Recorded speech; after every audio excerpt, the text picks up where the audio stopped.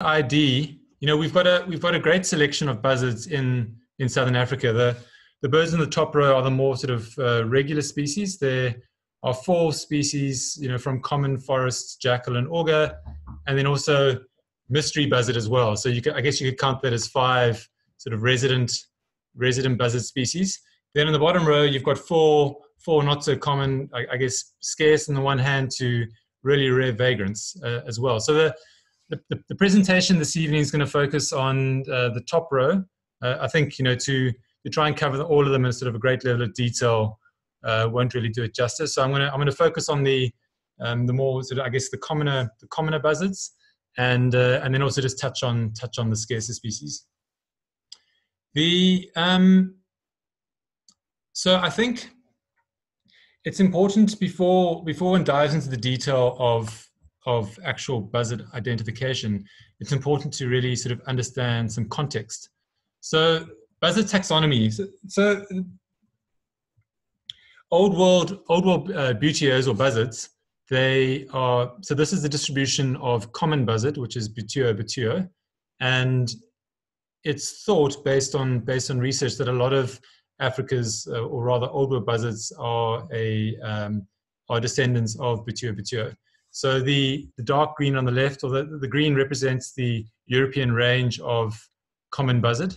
Um, the eastern the eastern populations being more resident or short distance migrants, and the birds in the birds in the east, apologies, west, west being more resident or short distance migrants, and the birds of the east being more, sort of a longer distance migrants. So that being Vulpinus, which is which is steppe buzzard, and what and what we find what we find in southern Africa.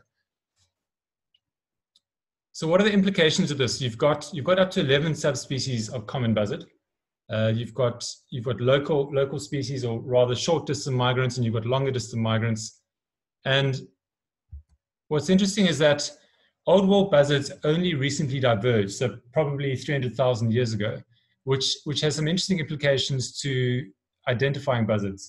Firstly, there's, there's a lot of hybridization um, across different, different hybrid zones, hybrid zones between, between the various subspecies. So in Europe, you've got lots of hybridization. And then the implication of that, so some of you may have heard that you know, the steppe buzzard in particular has been known as the, the fingerprint buzzard. So through prolific hybridization, at almost every overlap, you've got you've got a new form of uh, buzzard being produced. So there's lots of lots of variation across across the range of of common buzzard. Dave, is it fair to say that um, a recently diverged uh, family of birds like the buzzards would result in more hybridization? Absolutely, Mike. Because I mean, so so genetically they're still very similar. Okay. So wherever you've got some interaction on a sort of geographical basis, there's a high a high chance of um, of hybridization, which results in lots of, uh, I guess, a high a high instance of um, plumage plumage variation. So there's a there's an interesting correlation between range versus variation. So where where you've got a fairly localized species, you find that their their plumage variation is quite low. For example, forest buzzard, but where you have quite um, a high a high distribution like steppe buzzard, you've got um, a very high level of uh, variation within within um, plumage varieties. So what's interesting there is that so I guess in summary, buzzards buzzards have only recently split. Um, there's high levels of hybridization, which has resulted in uh, I guess a high range of uh, plumage variation. Um, so th- I think this is interesting context when when trying to identify identify buzzards. So let's just quickly chat about. I think it's important that we we we um, we all I guess speak the same language. Um, so so when it when it comes to identifying buzzards, what what should you be looking at? So here's just a quick a quick flight shot, Mike. I think this is one of your photos. Um, when when looking at a buzzard, you want to you want to focus on the underparts and you want to focus on the wings. So on the wings, you get the you get the leading edge and you get the um, trailing edge, which is which is the the back of the wing. Um, then it's it's important to focus on the, the underwing covert. So the underwing coverts are this darker, darker area of the underwing. The front part of the underwing covert is the, the lesser covert, median or the middle part of the covert, and then the greater coverts, which, which are towards the back of the covered area. Um, so that's important. Obviously, got primaries and secondaries, which, which make up the flight feathers, or also known as remiges. Um, it's also important to to look at the carpal patches, which is the the area sort of close to the carpal joint on the on the buzzard. Dave, maybe just to um, re- reassure everybody who's looking at this diagram and seeing all these names of uh, um, anatomical features of a bird, this was always the page that I skipped over when I looked at the field guide when I was six years old. So these uh, names are mostly new to me as well. Good to know, Mike. Um, I'm glad you're learning something. always. Cool. So here's a here's a perch bird. So these are other important features to look at when when trying to identify a buzzard. You've got the, the underparts, you've got the upper breast and the, and the belly, uh, you've got the trousers, and then you've got obviously got the eye color. So the, these are these are important things to look at. So it's it's interesting if you look at if you look at the research related to the the uh, uh, I guess old world buzzards or uh, buteos. So it's, there, there are essentially three ways to identify buzzards. One one is genetically. Um, second is is morphometrically. So that's actually doing in hand measurements. So that's catching a bird or, or, or getting a uh, looking at a, um, a dead bird and, and measuring actually measuring um, the bird itself. And then finally, there's there's plumage detail. But based on what I've told you about the you know how recently they they diverged as a group, uh, plumage detail is can be very tricky. And and there are there are and I guess this is my caveat. There there are some buzzards that actually can't be separated in the field or you know based just on just on plumage features alone. So I, I, guess with with with IDing with IDing any bird, it's always it's always useful to start with distribution. Uh, so I've just quickly summarized the, the distribution of, of, of, each of our occurring buzzards here on the slide. Um, on the left, we've got common buzzards. So this is a regular summer visitor, as well as actually some of them over winter as well. Um, so they, they, they, occur throughout the region. Um, I guess you could you, you, could describe it as a generalist. Then you've got forest buzzard, which is found along the uh, I guess the south uh, southern parts of southern Africa. The stronghold is sort of southern Cape around Knysna and George, but they stretch as far as far west as Cape Town, and then up up sort of the the east coast into the, the eastern parts of um, the country. So, Dave, just to maybe to clarify that forest buzzard is a southern African endemic. Spot on. it's a bird that one only finds in in southern Africa, and I think in fact could be mostly South Africa. There might be some crossover into say Swaziland and, and Lesotho. Yeah, exactly. Jackal buzzard's fairly widespread. Um, it's it's typically a, a mountainous uh, a mountain species, um, but that's also a southern African endemic. Uh, then you've got augur buzzard, which takes over from from jackal buzzard. That that you find in Namibia and Zimbabwe. Um, it overlaps with jackal buzzard in, in, in southern Namibia. Then I've also included mystery buzzard. So mystery buzzard, I'll, I'll, get to the details of mystery buzzard. We actually had a question before the webinar as to the latest uh, the latest sort of update on on where things are with Mystery Buzzard. It's actually quite a it's quite an interesting story. But they but they span sort of up the west coast, uh, down through Cape Town. There's a, stronghold a stronghold on the peninsula and around Elgin, and there's one there's one suspected record uh, in in George. Um, so that's a yeah, it's an interesting story that that's still really unfolding. Then um, on on the sort of I guess the rarer buzzards, redneck buzzard I think there are five or six records, uh, mainly in the Kalahari Basin. There was one long-standing species in Stilbaai. Sorry, one, one, one standing bird, uh, a long-standing bird in, in Stilbaai. Long-legged buzzard. I actually, offhand, I'm not too sure how many records there've been. Maybe, maybe Trevor can comment on that. Um, and Trevor, that's a that's an invite for you to chip in. Um, tell us when the last long-legged buzzard record was in Southern Africa, and most importantly, did you actually see it? Have you ticked it in the sub-region? we'll wait for your response and everyone will be able to see it. I think um, I think that um, I also think that some of the records of, of long-legged buzzard are are actually under question because it's an incredibly hard bird to tell from from common buzzard. Eurasian buzzard is um, Eurasian honey buzzard is um, it's not a buteo, but it's it is a buzzard. It's uh, quite wide-ranging. Um, you can find it actually pretty much across the region, um, but mainly in the east and then grasshopper buzzard. Um, there've been a few records. The first one being in, in Zimbabwe. Right. So that's it's always important to if you're trying to separate a tricky buzzard, just refer to the distribution maps as a as a start.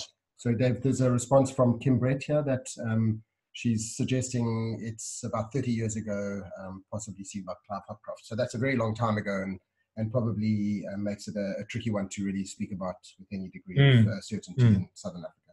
Interesting. Cool. Thanks, Kim. So just some basics. You know, where, where does one start with uh, buzzard ID? It, it's it's always it's always useful to start off with trying to age the bird. So are you are you dealing with a young bird or is it an adult? And a useful way to do that is to look at the eye color. So young buzzards typically have a pale eye, like you can see in that bird on the left, top left, and then an adult generally have darker eyes. And then um, what's also useful, if you've got a perched bird, you can you can see this bottom photo taken by great shot by Trevor. You can see it's got a, a pale eye. It's also got these sort of pale fringings on the on the, the on the um, the wing coverts. So it's quite common in raptors to see these pale fringes in younger birds. And when they're in flight, you can actually see on the trailing edge. You can often see, particularly if they're backlit, that they've got they've got sort of light a, light trailing edge to both the primaries and the and the secondaries. So that's always useful to know uh, whether you're dealing with a um, a younger bird or, or, or an adult. Um, the, the jizz of a buzzard is always important. It's, it's, very useful, particularly when trying to tell, I guess, our common three buzzards being, being uh, common or steppe buzzard, uh, forest buzzard, and, and jackal buzzard. And then habitat, surprising, you wouldn't always think, but habitat's also, also a, good, a good indicator. Right, so let's let's dive into the detail. Um, I'm going to run through each of the species and, and just focus on sort of salient uh, salient species uh, um, features and, um, and and and look at a few example example photos. Um, right, so common buzzard. The I think all of you probably would have seen common buzzard. It's a it's a it's a generalist, so you find it in, in a wide variety of habitats, but it particularly likes open open country. We often see them uh, on on, on fence poles or telephone poles. Dave, have you ever played the game on a trip along the N2 and counted steppe buzzards and common well, common buzzards in, in summertime? I, I know we've definitely done that and, and reached over 100 before you even gone beyond Riviersonderend. That's impressive. Mike, I haven't played that game. Um, I'm, I'm, generally trying to age them. Um, so you stopped and, and, looked at one for about 20 minutes. exactly. Yeah. No, um, I haven't. But uh, I'll remember that for, for, my, for my next road trip. Um, so the, the adult adult common buzzards have obviously have dark eyes. What's what's most distinctive and the, the best feature, particularly on a perch bird, is it's got it's it's got barring on its underparts um, and quite extensive barring. That can be quite hard to see at times. So this bird you can see here in this photo, it's the barring is fairly obvious. But in some birds which are quite dark and where the barring is is is quite dense, um, it can actually look like it's one complete color. But if you look carefully, you can actually see some sort of finer barring in there. So that's important. The, um, the underwing coverts are also important. So this, this part here where I'm highlighting with the, with the cursor, the, um, the undercoverts are, um, the underwing coverts are typically dark. So in forest buzzard, you will have a pale section here. And um, so that, that's, that's quite useful when, when trying to tell from forest buzzard. The juveniles can be trickier. The juveniles and immatures or younger birds. Juveniles being a bird in its first calendar year and immatures being it kind of includes juveniles, but it, it, includes subadults. Um, so, so younger birds have lighter eyes. They are typically streak below, so they won't have barring yet. But what's important is that the streaking is not is not tear shaped, which you would find in forest buzzard. That's important. And then they've also got a less a less distinct trailing edge to the wing. Um, so the, the, the, common the common sort of mix up bird here would be would be forest, forest buzzard. Um, yeah, cool. So let's just look at a, a couple of pics. This uh, so this bird on the left, Mike. I think I think these are your photos. The the bird on the left left, you can see it's got a dark eye. Um, it's got classic barring across the chest. I mean, I think that's I think that's pretty straightforward. This bird on the right is is quite interesting. Um, it's got a pale eye, so it's a younger bird. It's got the streaking, and you can see that the streaking the streaking isn't tear shaped. And it's I know this photo was also taken in open countries. I think we can safely say this is not a forest buzzard, but it's a it's a I, I use common and steppe interchangeably because we because we have the um, Vulpinus subspecies um, known as steppe buzzard. I um, I'll also refer to it as, as a steppe buzzard. These two photos here. So on the left, you've got a younger bird. It's got a pale eye, um, also quite streaked. Um, no no real apparent barring yet. Um, streaking is also also not tear shaped. So I think we can safely say that's a that's a steppe or common buzzard. I've included this rather uh, rubbish shot on the right, but that, you know that, that that's often how you see buzzards. So this bird is actually one of those examples I mentioned earlier where the barring is quite is quite dense, so you can't actually easily see it. But if you if you zoom in closely, you can actually see that there are fine bars. Um, nice nice sort of well marked um, well marked uh, underwing coverts as well. So that that's a nice classic uh, classic steppe buzzard. Right. The next is um, next is forest buzzard. So forest buzzard is is a it, there are two theories. It's it's either split off from mountain buzzard, which you find in East Africa, or it's a derivative of uh, common buzzard. Yeah, Mike. Can I interrupt you? There's a there's a question from um, Baz Herbst on the chat here. He he talks about the fact that on the, the app there are various forms of this buzzard, which is obviously the common buzzard that we're speaking about. So he re- refers to grey, brown, brown, rufous, and dark. Um, so maybe just uh, if you could answer that question, I guess you, you did refer to it uh, Mm. briefly at the beginning, Yeah. but maybe to talk about how, the variability of, of the plumages. Exactly. So steppe buzzard is an incredibly variable uh, species in terms of plumage, and it ranges from, as, as you've described, from uh, sort of grey colours through to brown colours, rufous, to, to incredibly dark colours, almost black, like really dark brown, to, to, re- to really sort of blackish blackish birds. So they, they are incredibly variable um, be, because because they are a, a fairly um, they, they are a very diverse group in terms of all their subspecies and high levels of hybridization. Um, so they, they are they are incredibly variable, and also their their geographical range is, is very wide, which which um, which then um, encourages them to develop all these different phenotypes, or rather plumage plumage uh, characters. Um, so yes, they are they are incredibly variable. Great, thank you. So so forest buzzard is a is a is a forest specialist. So they they they're actually more compact than. So I mentioned the the, the importance of jizz earlier. They're a more compact buzzard than common buzzard or, or even jackal buzzard. Um, so adapted to living in a forest a forest habitat. So when I um, whenever I see a forest buzzard, I, it always stands out to me that they they're quite a compact bird. They they tend to be more flappy because their wings are a bit shorter and, and sort of narrow, um, sort of wider than a common buzzard. Um, so in the um, and also theoretically, their their their plumage their, their, their plumage characters aren't as aren't as um, wide ranging as common buzzard or steppe buzzard. The adults have dark eyes. Um, they typically the adults typically always have this sort of U-shaped um, white band across across the chest, or dividing the dividing the, the chest and the, the lower belly. Um, the key characteristic are these sort of tear shape tear shaped markings on the bird, and, and that varies from you get very white birds to to birds which are a bit darker. And um, what's very important on a, on a, steppe buzzard when you see them in flight, and I'll show you on a, on a following photo Forest buzzard. Sorry, forest buzzard, the um, underwing coverts, the, the middle of the coverts, or the median coverts are, are white, um, which is important. If you look in the field guides, none of them tend to mention that you you get barring on a on a forest buzzard, but in fact you do, and I'll show you some examples. Um, so that so that's an interesting feature, a feature you need to be careful of when when, when trying to tell it from from common buzzard. But the barring tends to be restricted to the flanks, to the, the side of the, the lower parts. Um, the young birds obviously have a lighter eye, and the, the plumage is quite similar to an adult. So here, two shots. You can see the classic tear-shaped marking on this bird on the left. Um, this this photo on the right, you can see those um, those white um, median coverts, which I which I mentioned.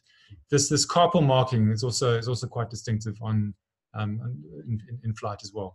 Sort of a little You, you're talking. You're talking about the the comma shape. exactly. Yeah, yeah, yeah. So exactly. the the major portion of the carpal patch is is pale, Hmm. and then you've got a, a very distinctive comma shape on, on the carpal bar on Yeah, the carpal patch. Yeah, exactly. So this, these shots aren't great, but but this is um, some some research done on, on forest buzzards, and you can see this barring on this this left bird here, and in fact all these all these uh, these skins here, you can see this flank barring, um, which isn't often spoken about in field guides, which is interesting. And then just two more flight shots. Um, you can see you can see that that carpal comma you were mentioning, Mike, very nicely, and you can see these sort of white white median coverts, which are which are very distinctive um, on the on these two birds. A nice shot by Trevor showing a bird carrying carrying nesting material. Cool. So next, um, mystery buzzard. So we had, as I said, there was a question before before the webinar about this. So Lyle, Lyle Gwynn did his master's thesis on looking at the genetic, the morphometric, which is the I guess the sizing and the plumage detail, trying to essentially unpick the mystery. And the, the, the results he he he uh, landed on or, or found with the fact that these mystery buzzards are hybrids between steppe forest and possibly Menetries buzzard, which is a, a species that it's a subspecies found in Europe and actually was was thought to be a short distance migrant, but they they found some genetic evidence that it could in fact be um, in these mystery buzzards as well, which, which is quite interesting. So what you're suggesting is that um, a short distance migrant like or short distance distant bird like trees is possibly hybridizing with some of the common buzzards that they're not traveling into into our Western Cape area, and those are the ones that we're, we're seeing here, and those are starting to breed in the Western Cape. Yeah, or or the trees buzzards are in fact migrating to trees as well. Yeah, okay. Uh, so, uh, to to the Western Cape and, and interbreeding here. What uh, another interesting another interesting result from his research is that there, there might be an undescribed uniform rufous form of forest buzzard, just to complicate things further. Um, this obviously requires further research, um, and there was no genetic, uh, genetic evidence of hybridization in those particular specimens, which is very interesting. Um, so essentially a full species forest buzzard? Well, a, a version of forest buzzard that has completely uh, uniform rufous okay. underparts, but, but also physically a bigger bird, which is interesting. Um, so that so that so that needs more research. And um, and as you would expect, these birds have a very wide plumage range. And so the, the, the, I guess the, the net result of this is that if you see if you see a buzzard that looks like a common buzzard, in fact even a forest buzzard in winter around Cape Town or Elgin, um, it might be a, a, mystery buzzard. So it's, it's, it makes it quite hard. For, example, two weeks ago, I was filling out an atlas card at Kirstenbosch and I saw one of these mystery buzzards and I, I couldn't list it do I do I list forest or do I list common? So, so Dave, I, I think what you've mentioned is quite important because if you're doing birding big day and you see two of these buzzards, yeah, um, I would suggest you just tick both, just to add numbers to your species count. That I think that's a great idea. Okay. cool. Here, here, two more great shots. Um, Margaret uh, McIver took these took these photos. She she actually she she she posted a great story on Facebook and how she actually she she saw the I think it was the male break break off a branch and, and go and actually start building the nest. But it took her ages to find the nest because they're very crafty and very secretive. So it sort of led her on a bit of a wild a wild buzzard chase. Eventually she found it. And so this I think this this bird here was the female and um, again that's the female and, the, and this is the young, the recently fledged um, buzzard on the right. So I mean you can see this is an incredibly dark bird and actually I mean if I had to see that I, I mean I wouldn't even it's really like where do you start? Um, so it, it really has, I guess, thrown the thrown the what the, the, the cat the amongst the buzzards. The buzzards. The buzzards. Um, yeah. Cool. Then then jackal buzzard. So I mean, adult, adult jackal buzzards are. Dave, I'm on top of jackal buzzard, by the way. So yes, jackal buzzards are easy to identify. The adults. Um, they they yeah, I mean they they're awesome birds. They're really distinctive. The adults have nice broad wings. They actually look like sort of mini mini um, Bateleurs, uh, you know, with that sort of whites, whites in the wing and that sort of rusty, rusty chest. Um, and it's also quite a big, powerful buzzard, um, which which is useful when when when looking at the younger birds, immatures and uh, juveniles, trying to separate them.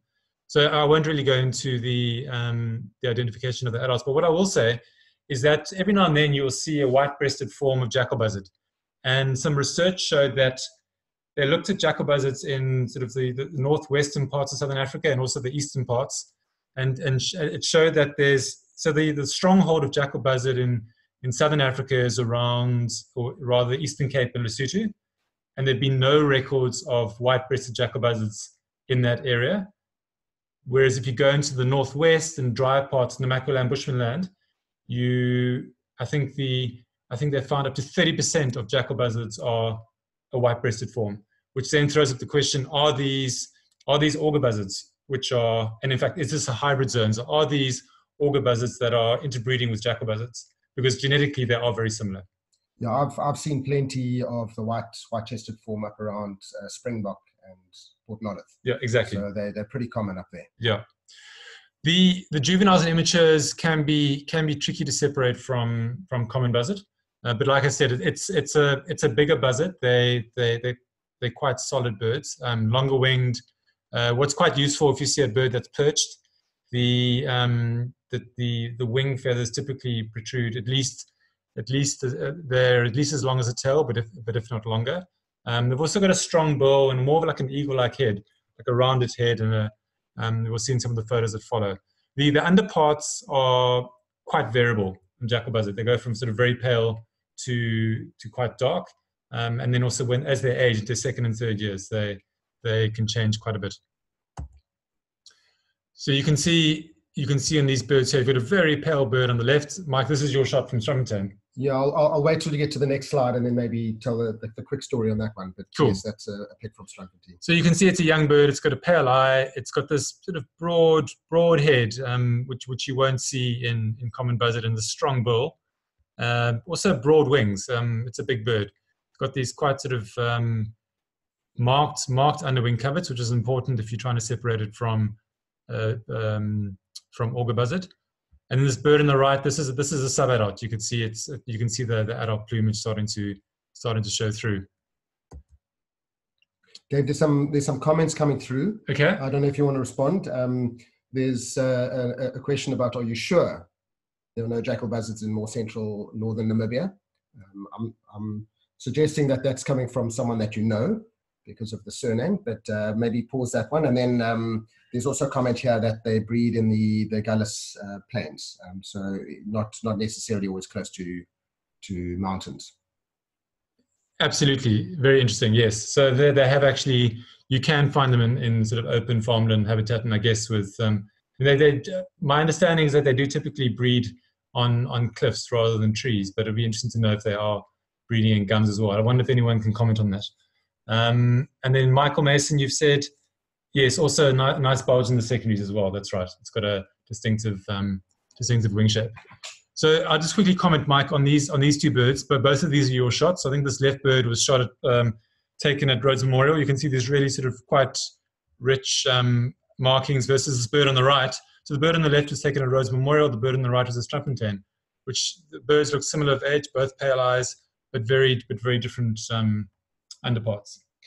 So, so maybe just to, to jump in quickly on that uh, bird on the right, I was birding with my son at uh, Strandfontein probably uh, early February, maybe mid-February, and it was um, very soon after the very um, well-twitched redneck buzzard at um, by, And so redneck buzzard was very uh, foremost in my mind, and we came around um, a corner down at uh, one of the bottom pans, and this bird flew um, over a dune initially, and then eventually came back and perched on this this big lump of sort of um, was a, a, dead palm tree, and I myself and, and Adam both had um, heart palpitations because we thought we had uh, found a, a, redneck buzzard in in the Strandfontein area. So after um, sending the pic to quite a few people from the site.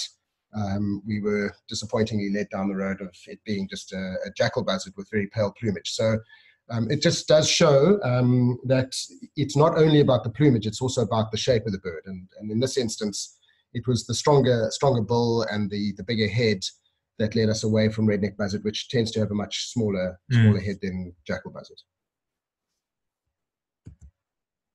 Cool. He had two nice um, shots of, of perch birds. You can see in this left-hand bird, the um, the wingtips, the primaries, are protruding at least as far as the tail which is a nice feature. It's a big bird, and also it's got that strong head, that big bill. Same as a bird on the right. You can see it's uh, this is a subadult, sort of long, long, long legs, sort of strong, big, big feet as well. So a, a big bird compared to a common buzzard. So Dave, can I just interrupt? We we intend for the the webinar to last about an hour. Um, I think we're we're running a little bit over time, but hopefully um, everyone's enjoying themselves and and we'll stick around for a couple of minutes longer. So just to give you the timing on, on the, the webinar. Cool. Next is Augur Buzzard. So distribution is a good guide. Um, it's found in Namibia and Zimbabwe, um, but like I said earlier, it, it, does overlap with, with Jackal Buzzard in Namibia, and, and probably um, I wouldn't be surprised if, if there was some hybridization happening. It's it looks superficially like a, a Jackal Buzzard. I mean, they are they are very closely related.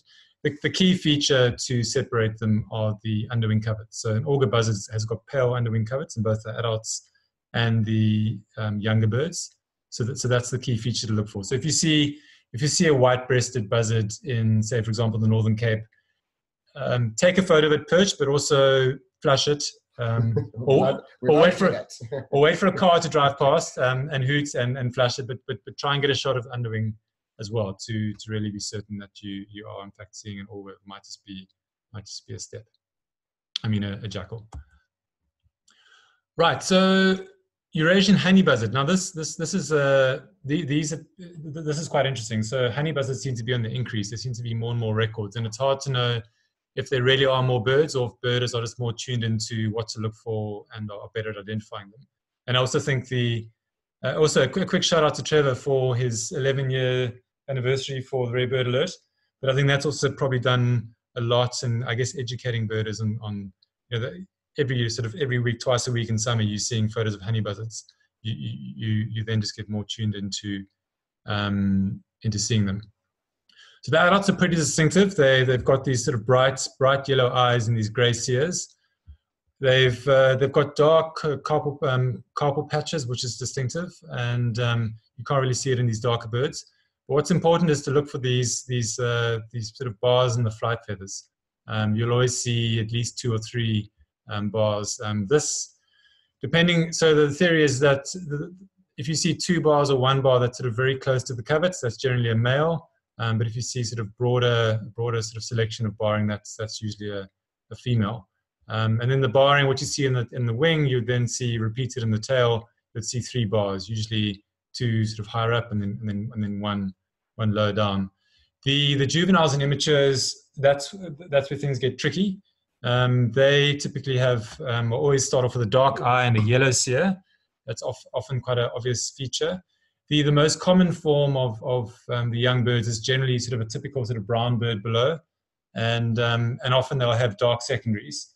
Um, the dark secondaries are sort of black tipped flight feathers or fingers and primaries, and quite often have a sort of dark, dark facial facial mask. You've got some pics of that, haven't you? Yeah. So this bird on the left is a is a nice adult. You can see it's got this sort of distinct trailing edge, um, well marked trailing edge. Um, and you can see sort of one or two bars. I think this is a male. Um, this bird on the right is a cracking shot, also of a also of a male. It's got these sort of wing bars here, um, repeated here in the tail. These sort of very very distinctive um, bars in the tail. This is a this is not a great shot, but this is actually often how you see raptors. Um, this is a this is a young bird. You can see those sort of that brown below, like I mentioned. You can see the dark carpal patches and these dark secondaries. And um, they've also got long tails, which I haven't mentioned. Uh, long tails in this in this bird here on the left. Uh, this this this tail here is fan, but you can see it's much longer than what you'd see in any of our resident buzzards or, or even common buzzard. Here's another young bird on the right. You can see those dark secondaries. You can see the, the barring in the in the flight feathers quite nicely here, and that sort of dark dark carpal patch and these these black black tip primaries. Another, another young bird, you can see the dark mask I mentioned, um, dark secondaries, uh, sort of brown below, uh, quite a broad tail. You can see, you can sort of make out the, um, the, the, the, um, the bands and the, the tail as well. And then here's one more, just of a, this is an adult bird um, with the, the dark carpal patches uh, showing up nicely. Another one of a young bird and actually a perch bird. So this is a, this is a young bird. It's probably sub-adult. You can see the, the, the, the eyes starting to lighten um, but it's still got the still got the yellow cere, um, which is distinct of a of a um, an immature bird. Um, it's a nice uh, perch shot. Right, then I'm just going to run through through a, a couple of the, I guess, much much uh, uh, rarer rarer species. Um, this is redneck buzzard. So this is a shot of the bird from Stilbaai. What's what's important to look for here is obviously the red on the neck and the head, sort of a rufous a rufous wash around the neck. Um, the the underwing coverts are important. It's got it's got white median coverts like you would expect on a on a forest buzzard, but it's got a much more distinct little uh, C-shaped uh, marking at the carpal joint. That's important. It's also got typically finer barring in the flight feathers than than, than you would see in a forest or a um, or a common buzzard and it's got unmarked it's got unmarked trousers. Um, so a combination of that, both in adult and um, and younger redneck buzzards, is. Um, so Dave, just to go, go just to comment back on the, the honey buzzards, there's some comments coming through, and, mm-hmm. and, I think it's a feature that's that's quite important with honey buzzard is the pigeon head. It's obviously got a, Absolutely. a relatively small head and, and often on a on a longish sort of neck and quite distinctive when you see it. Um, yeah, does look quite small. Yeah, exactly they've, they've also got those sort of weak weak bills because they yes. don't um, they obviously just need to they eat honey and um, uh, sorry, bees and wasps and they also have weak feet um, so quite weak feet when you see them perched I won't go into detail on grasshopper buzzard. This is this is Brendan Ryan's photo. This is actually the first the the, the actual bird seen in Hwange um, a few years back. It's very distinctive when it flies. It's got these sort of red in the red in the flight feathers. Right, I'm not going to I'm not going to cover long-legged buzzard. I think it's it's it's too technical and there's too much controversy about the the separation of long-legged buzzard from from common buzzard. I won't get into that. I think we could probably do a whole webinar on that for the the hardcore raptorphiles. Um, so you always get curveballs with raptors. I've just I've just thrown these into um, I guess yeah, just highlight the fact that you you do get birds that look quite similar to our, our, our resident species or local species. Um, but anyone want to sort of hazard a guess as to what these birds are? You can, um, you can throw a, a comment into the, the, the, the chat. Maybe let's uh, give it a second or two, see what everyone thinks these birds are in, in these two shots. Are we allowed to ask David, is it the same species? I know it's not the same bird, but would it be the same species? Or is it the same bird?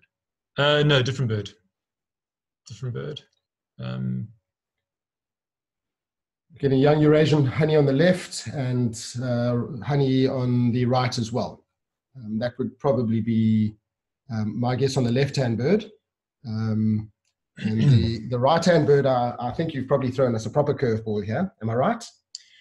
Uh, yeah, so this is, I mean, I, have actually missed the bird on the right. I've, I've mistaken for um, honey buzzard before. We once were actually at Kirstenbosch and um, we had, I think, five or six honey buzzards circling, circling above Kirstenbosch, just sort of uh, below window, um, Window Gorge. And after watching them for about 20 minutes, eventually realized that actually one of them wasn't a honey buzzard.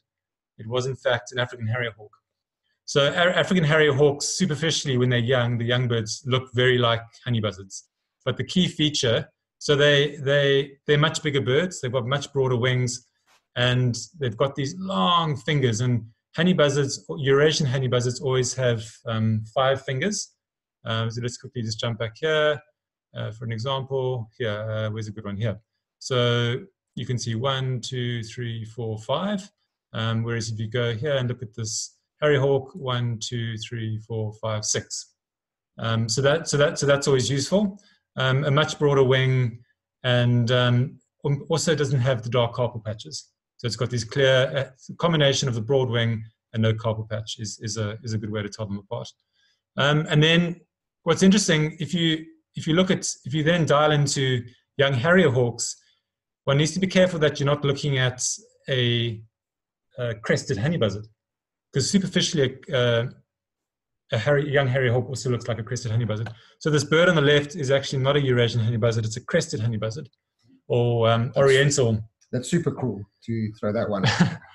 so the one on the left, Oriental honey buzzard, which uh, looks very much like Eurasian honey buzzard, but it, again, it hasn't got the dark carpal patches, um, and it's also got the it's got the six fingers on the on the primary. So um, this one's not a perfect specimen. It's got three. That there, there's the sixth there. Um, but I'd say the main, I guess the most reliable feature um, would be this, um, the lack of a carpal patch. And, oh, uh, threw this in as well. So Mel Tripp sent this through before, before the webinar.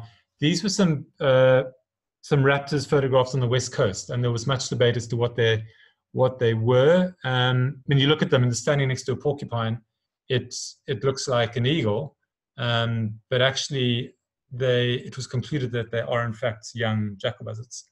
Um, you can see this sort of uh, pale edging on the wing, um, pale eye, but you know with, without seeing the the bottom of the leg, you know you would see the exposed the exposed legs here. You it, it creates a very different impression. Um, I can yeah. at, I can at least identify the porcupine. cool. Um, just quickly some some uh, some good resources. Uh, this uh, raptor guide by Ulrich um, Oberprieler is um, is, is is really good. And then if you want to get into more detailed stuff, the flight ID of Raptors by Dick Forsman is is is very good as well.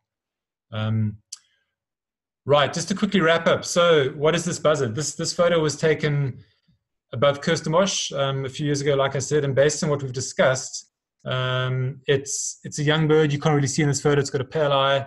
Um, the coverts are well marked, and it appears to have sort of, I, I would say, tear shaped marking.